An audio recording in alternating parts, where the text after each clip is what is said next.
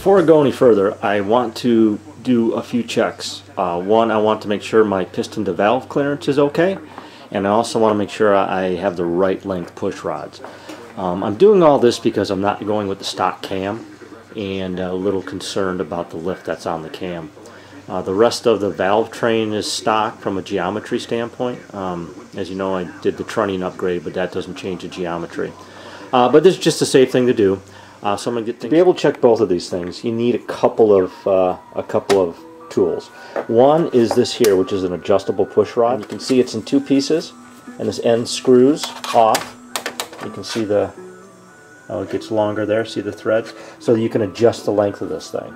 Um, that's the other thing. And the other thing you need is a solid lifter. Um, I'll show you how to make one of those out of an old lifter. For an LS, it's really easy to make a hydraulic lifter into a solid lifter. Um, these are my old lifters here, and that's what I'm going to use. And I'll convert these two over. First step is to get that little spring clip out of the top. Comes out real easy. Just get a little screwdriver, get in there, and pop it out. There you go. That's that's it there. Now the cup should come out like that. The next step is to get that plunger out. And the, what I found works fairly well is uh, try to take a small screwdriver or have this this little pick um, and just try to hook it and get it out towards the end. Um, there's a lot of suction again on this thing and you're never going to get it all the way out, but what I've tried to do is get it out close. Okay, that's pretty close. And I've got this magnet, and put the magnet on there to, to, to pull it out. Right like that. So I cleaned up my mess here and all the parts. So what you want to do is basically take the plunger and put it in upside down. So this is how the plunger came out of the lifter. Dump the spring, take the plunger, turn it upside down, push it back down in there. And it'll take a little bit of doing to get it down just because of suction. The fit is so tight in this thing. Take your push rod cup, put it back in right side up, Okay, again, really tight fit. And basically, you're gonna, it's a little bit of a challenge here, but you want to try to put the that spring clip back in to hold all this in. Let's see how successful I am. And once you get one of the other three sides in, the other side will drop in. Just like that. So you can see that the clip is, is back in there. And this is now a solid lifter. I have everything cleaned up. I made up four of these. I've labeled them with an S for solid so I don't inadvertently get them mixed up with any of the uh, real ones. That would be that would not be good. to check push rod length and piston to valve clearance, the first thing you have to do is mock up and put the head on the block um, as if you're going to assemble it. So to do that uh, on an LS, you need to first put the lifters in. Um, this is the lifter bucket because the head covers up the lifters on like a Gen 1 small block. And then you also need to have a gasket on here that um, you know is the right thickness. So what I'm going to do is I'm going to reuse the old the old gasket, okay, which is already compressed. Um, but first step is to get these lifter, uh, your uh, solid lifters that you made up and um, put them with the lifter bucket into the engine, again, just like as if you were going to assemble the engine.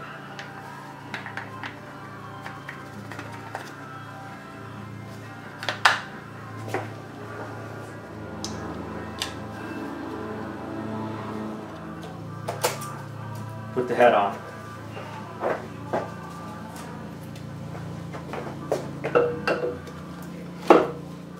Got to bolt the head down. It doesn't have to be torqued down or that. We don't have to be that accurate with it.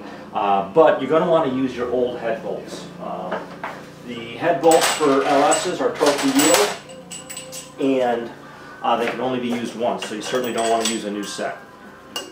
So I'm going to go ahead and just snug this thing down. First thing we'll check is the push rod. To do that, you have to mock up a little bit of the valve train. You're going to need the rocker support. So all I did with this lifter here was, um, or rocker here, is is just snug it up just to hold the the uh, the support in place. The first thing I'm going to do is I just want to make sure that this cam is on the base circle for cylinder one. Um, I had set this up a little bit better. Um, I could have done that with the head off, but I didn't. Um, and you can't see the cam real well on an LS or the lifters where the lifters are. So to do that, it's good just put in a couple push rods. Okay. Throw the lifters on on cylinder one. bolt those down and rotate around until those things are, uh, till the lifters stop moving. I know they're on the base circle. Alright, so I'm just rotating back and forth and I am on the base circle for cylinder one. Where on the base circle I don't know, but I really don't care. I just gotta be on the base circle. So one thing I found with the LS is it's really hard if you just take your checker um, uh, push rod and put it in here. You can't get in here the way the head's designed to be able to turn the checker to adjust the length. So this is a little trick that I that I tried and it seems to work pretty good. And it is take the rocker off. Okay. I'm going to take out this standard push rod that I put in here just to make sure we had base circle. I'm going to take the checker push rod. I'm going to wind it out a bit. I know it's pretty short where it's at. Um, and I'm going to put it in the hole. Okay. Push down, make sure that lifter is on the base circle. Take the screw bolt out of the rocker and then just set it on here. Okay?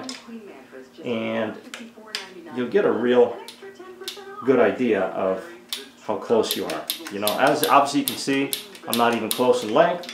So then you take it out, screw it out a little bit more, put it back in. Put the lifter in place, just hold it down with your finger, and I can see I'm, I'm pretty close. I'm close. Okay? It's only a little bit of movement there. So I'll take it and pull it out. Give it just a, maybe half a turn. Put it back down in there. push it down, okay? I have just a little bit of play, so I'm pretty close.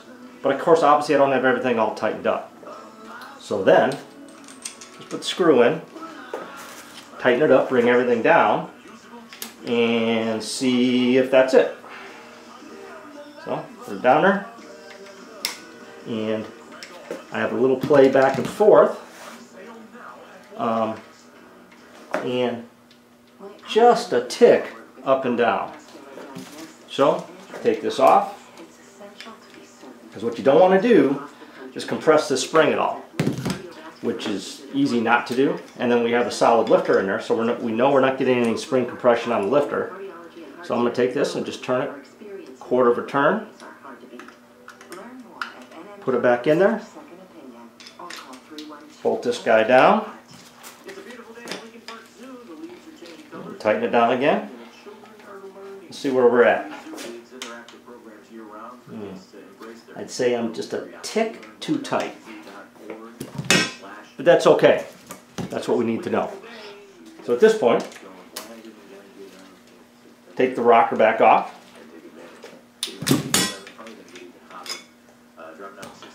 Pull that checker. Push rod back out hold it so it doesn't so it doesn't turn. Alright, so here's the push rod out of the motor. And what we want to do is count how many turns it takes to bring the push rod back down to uh, the end of the adjustment. If you'll notice on the push rod, uh, where is it here? Right, it's probably really hard to see. There's a dotted line here, so you can count the revolutions. So I'm going to go ahead and do that, and basically just screw this thing back together. So it'll be one, two, three, eleven, and I would say 11 and a half turns. Okay, so we're 11.5 turns. Okay, each turn is 50 thousandths of an inch. So take that times 0.5 and we'll get 11.5 times 0.05 is equal to 0.575. Okay, so that's how much I had to extend the push rod. The push rod base, when it's all screwed together like it is sitting here now, like this, is 6.800. Okay, so let's add that, plus 6.800. That equals 7.375. Okay. And uh, they recommend around 60 thousandths preload for an LS. So let's add, since we adjusted to where there's no preload, just took all the slop out of the system, let's add 60 thousandths onto that, and we get plus 0.06, and we get 7.434. Okay, push rods come in 50 thousandths length increments. So you can get a 7.4, 7.400, or 7.450. Okay, I'm falling right in between there. 7.4 is going to be what I want. I don't want more preload on it than, than what's required, um, than what's recommended. And uh, that is actually the push rods that I bought. So, um, but I checked it and I know that they're good. These are the push rods here. I don't know if you can read that, but it says right there 7.4. So I've got the right length push rod.